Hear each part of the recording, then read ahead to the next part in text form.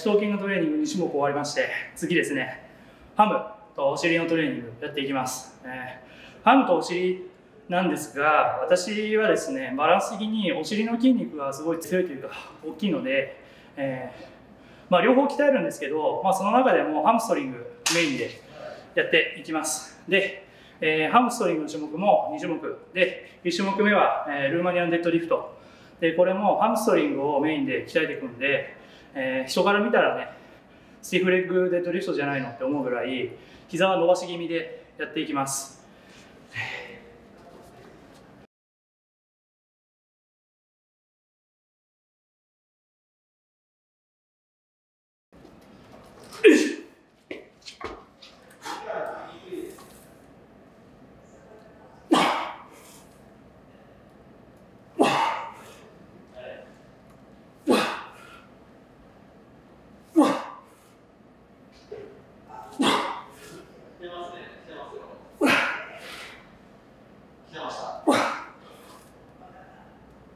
え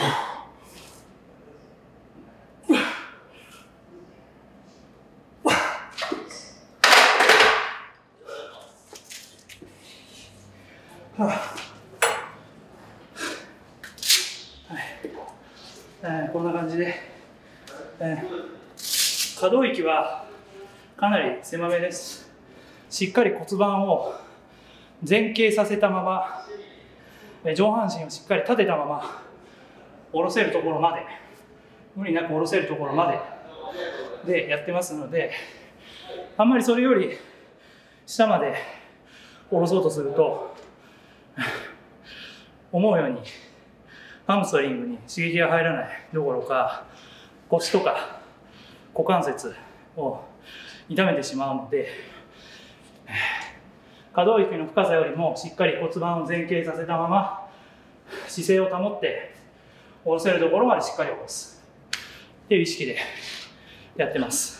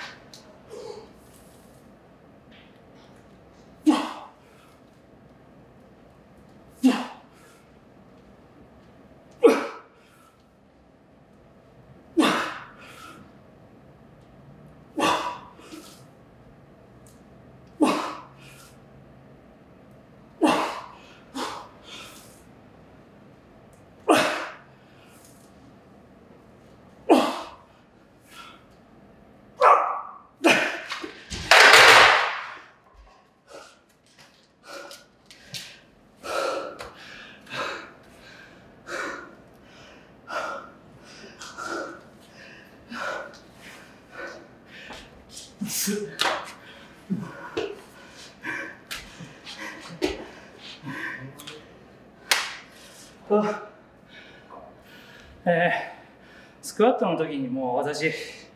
動作の時は特に細かいことは意識せずに上げることに集中するって言ったんですけどもこのハムのトレーニングは、えー、そのスクワットとか四頭筋のトレーニング以上に上げる時のスピード感がすごい重要だと思ってて、えー、まあ私まあ他の筋肉に比べるとお尻とかハムって結構強みだと思ってるんですけど特に上げていく時下ろして下ろした時から上げていく時に、えー、スピードを意識して本当に 100m ダッシュみたいに全力でなるべく早く動作するっていう意識でやってあげると結構ハムのね、え、反応がいいなっていうふうに感じているので、え、ちょっと重量は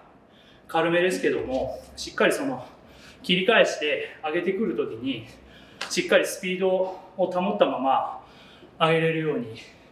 え、それぐらいの重量と回数設定をするようにしてます。で上げるスピードがちょっと鈍くなってくるとさっきの2セット目の9回目10回目ぐらいなんかそうだったんですけどハムからえー、ハムで重りを支えきれなくなってきてお尻とか、えー、起立筋腰回りの筋肉に結構刺激が逃げてしまうので動作的には余裕があるんですけどもあと何レップかできるんですけどもしっかりハムに、えー、刺激が集中できる範囲で終わらせる。で一旦筋肉を休めて、えー、ある程度フレッシュに回復した状態でまた次のセットに入ってしっかりハムを追い込む。っていうふうに意識をしてやってます。まあこのやり方がいいかどうかは正直わかんないんですけどもっと補助もつけてネチネチ追い込んだ方がでかくなるっていう方もいらっしゃいますし実際にそういうやり方で私よりも大きくなってる方もたくさんいらっしゃるんで何がいいのか分かんないんですけども今私がやってるトレーニングっていうのは、えー、去年、えー、また一昨年に、えー、コーチから教えてもらったメニューをもとに、えまあそれにね自分の経験則も加えてやってるものなので、えある程度あと23年じっくりね今のコーチのやり方でやってみて、えそれでねどんな成果が出るかっていうのをちょっと楽しみにやってます。では3セット目いきます。